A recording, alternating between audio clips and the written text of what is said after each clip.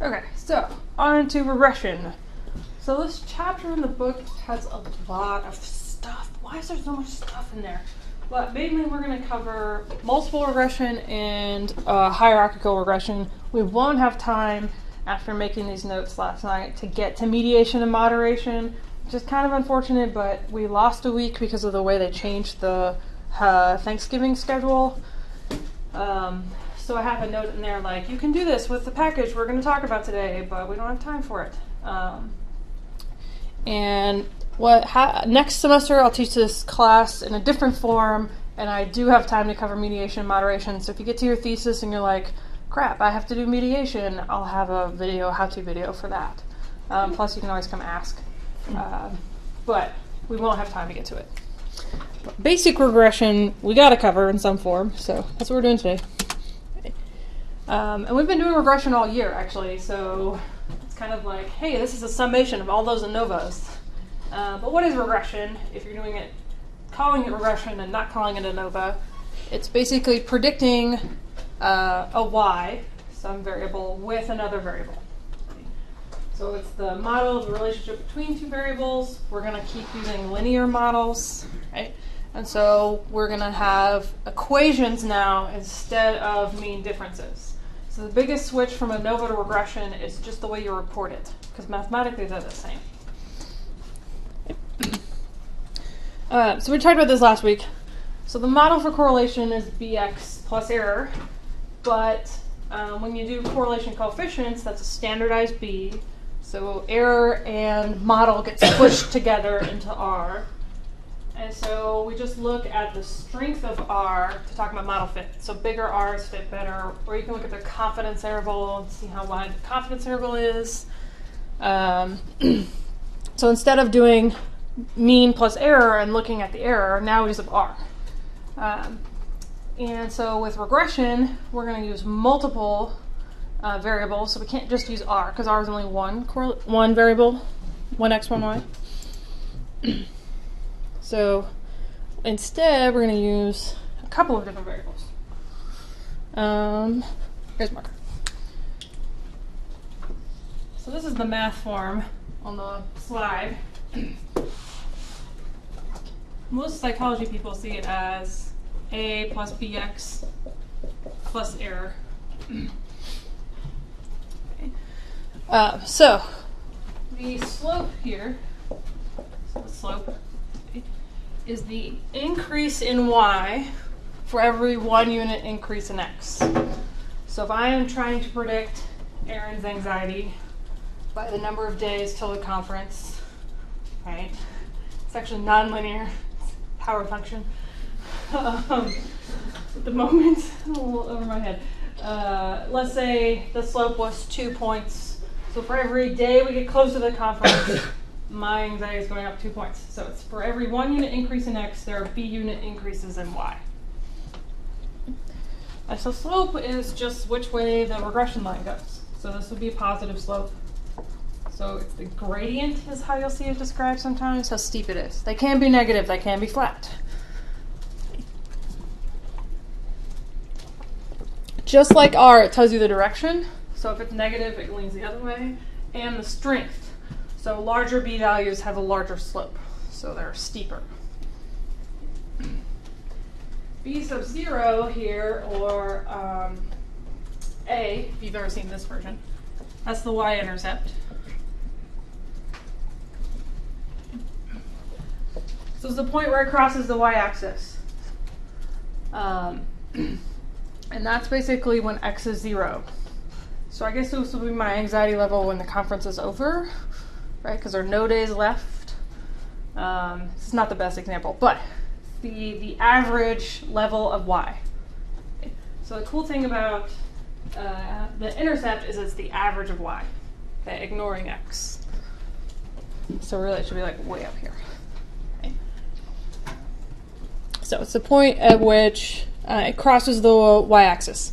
You can test if both of these are significantly different from zero using uh, null hypothesis testing, but uh, most people don't look at the intercept. Generally, it's not part of what you're interested in. You're interested in is the slope significant. So can I use x to predict y? Uh, but there are times that you want to understand the intercept. So some of the research that we do, we're interested if the intercept is greater than zero. And so we'll see if that's significant or not. Uh, but generally, it kind of gets ignored. So some different pictures. I mean, you guys kind of should have an idea of what regression is. But these would have the same intercept but different slopes. Right? These would have different intercepts but the same slope. And so both pieces are important, but generally people only look at the slope.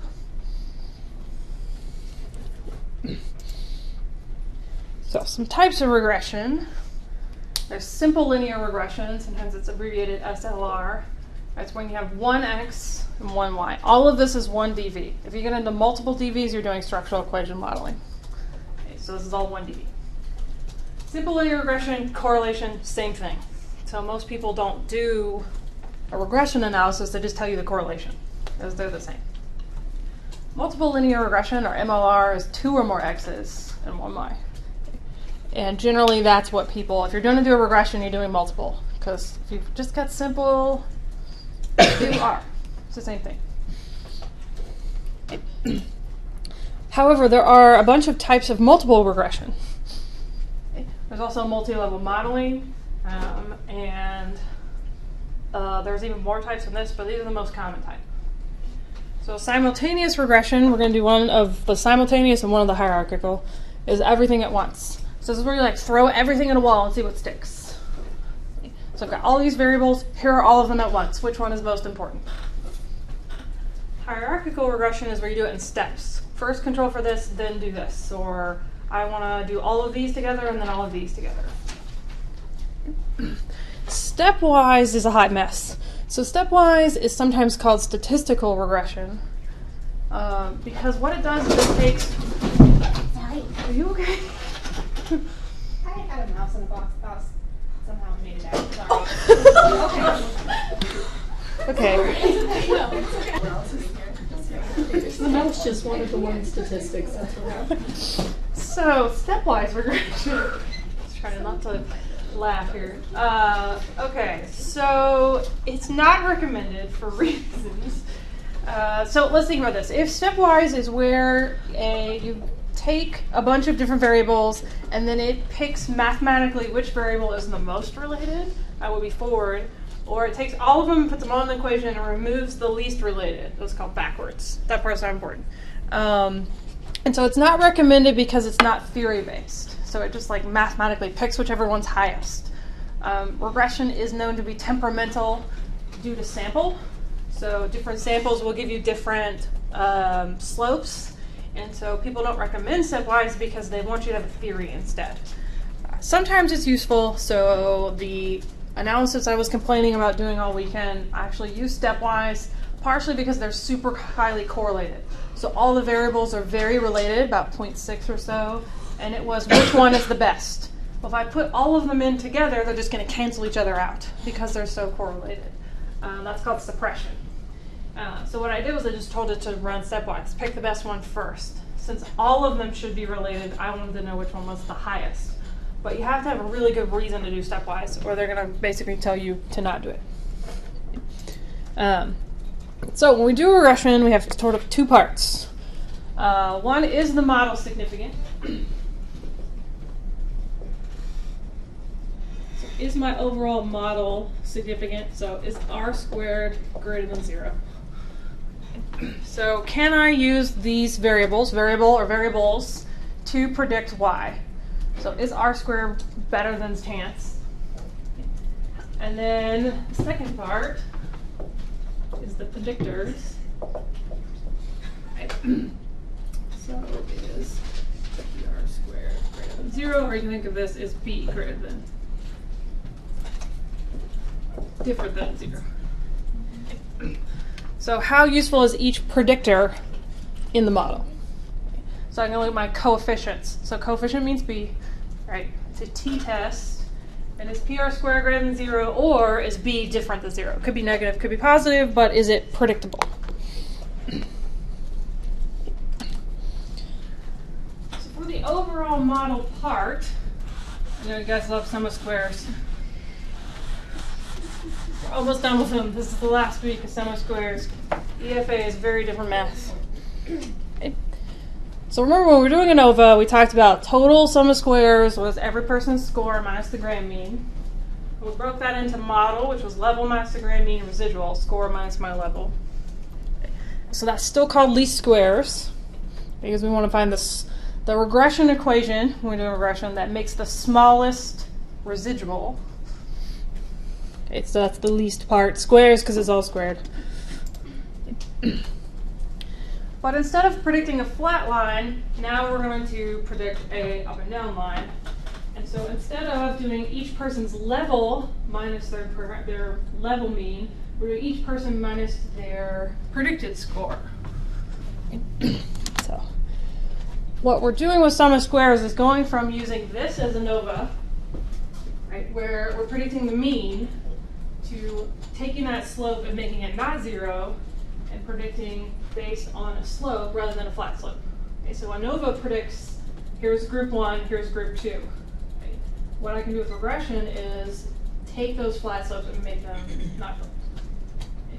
And so the difference between the two uh, allows me to see which one is the least squares. Okay, so sum of squares total is uh, each person minus the grand mean sum of squares residual is how far off am I predicting at um, their score, and model is the difference between the two. So how much better do I get when I go from a flat line to a not flat line?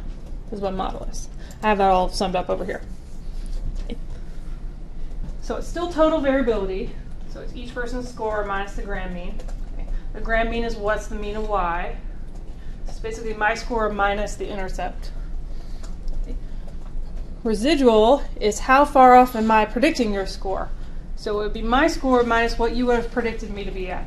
So here's my actual anxiety, here's what you predicted, how far off are you? And model is predicted score minus the grand mean. So how much better am I getting by going from flat to not flat? Um, so it's the same framework as ANOVA, because ANOVA is just regression with categorical predictors, which we're also going to do today. So everything we've done this semester is a special case of regression.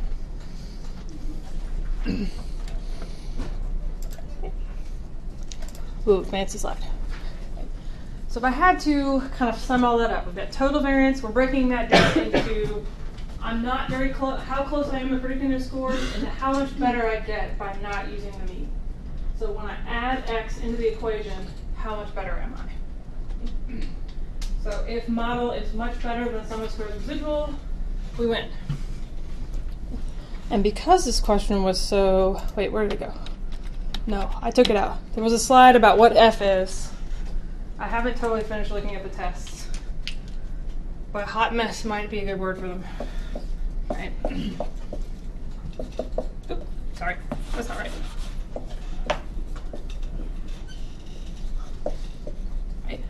Um, just to kind of remind you, so what we do is we take those sum of squares and we transfer them into mean square, right? We divide by the degrees of freedom. Um, but this is how much of good variance we have. So this is how useful it was to add any or all of the predictors, right? So it's not just one variable, it could be multiples. And this is how much bad variance or error there is. So uh, the overall model is still a ratio of good variance to bad variance. And we want that to be much larger than 1 because if it's a 1 to 1 ratio, that means all the good variance and all the bad variance are equal. Okay? If it's a 600 to 1 ratio, that means 600 uh, more good variance than bad variance. So still, it's a log odds ratio. Um, it's not log odds, it's an odds ratio, it's not log, sorry. Um, where we have the ratio of good to bad variance, and you want it to be big. So since I know that question was one of the ones that was kind of. So for the overall model, it's going to be an ANOVA that we'll write up the same way we've been writing up. And you're going to pair that with r squared. This is big R squared because we have multiple variables and it's the proportion of variance accounted for by the regression model. So here's the DV. Here's x1, x2. R squared is all of this. How much variance in the DV is accounted for by the IVs. So it's big R because there's more than one. And that is the Pearson correlation coefficient, big R squared. But you get it in the output automatically. But in case you forgot the formula, the sum of squares model over sum of squares total. Bless you. Right, the second thing we're going to do is look at predictors. So when we were doing ANOVA, we did ANOVA and then we did post hocs. So we did like an overall model, was it significant, yes or no? If yes, then we went on to post hocs, which were t-tests. So this is the same pattern. We do ANOVA, we look at the t-tests. Uh, they go much quicker because it's part of the output. Yes? Okay, there's no way. we will take a break. All right. So ANOVA to post hocs, ANOVA to t-tests. But it's a single sample t-test. Because we're going to test if b is not greater than 0, is different from 0. Big factors, so it is different than, just like a word. So is b different from 0? Or if you want to say the absolute value of b, right, it could be negative, so I don't want to say greater than. So the test statistic is b, the slope, divided by standard error. And that's the exact same thing we've been doing. T-test is what mean difference divided by standard error. So it's now b divided by standard error. So it's still a ratio of good model variance to error. So t is the same idea. It's like how um, much good variance accounts for and how much bad variance is, and you want it to be big. So it's a single sample t-test though, and not um, dependent or independent. So T is usually reported for the coefficients, but DF is not obvious anywhere. SPSS, R, none of it. It never just shows you DF right there next to it. So it's calculated by n minus k minus 1. So n is the total sample size, k is the number of predictors.